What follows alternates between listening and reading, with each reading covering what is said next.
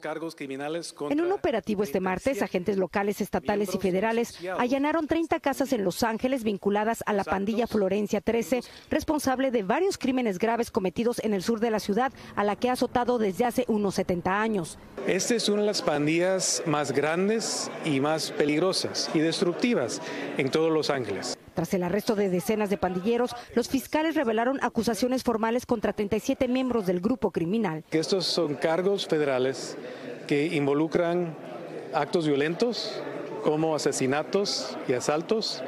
También involucran robos usando armas de fuego y también involucran la venta de drogas peligrosos como el fentanilo y la metanfetamina. La pandilla cobró notoriedad luego del asesinato en enero de 2022 del oficial de la policía de Los Ángeles, Fernando Arroyos. Su madre habló con Noticias Telemundo tras su muerte. Desgraciadamente, tres hombres me le quitaron la vida por una cadena que no valía la pena, 200 dólares. Arroyos estaba fuera de servicio buscando casa con su novia cuando fue objeto de robo a mano armada. Tres miembros de la pandilla fueron sentenciados a largas condenas por su muerte.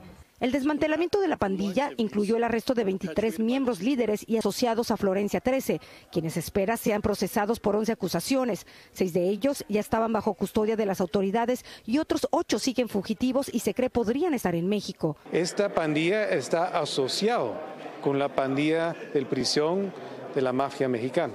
En el operativo, las autoridades incautaron grandes cantidades de metanfetamina, fentanilo y heroína, así como armas de fuego y cerca de 70 mil dólares en efectivo.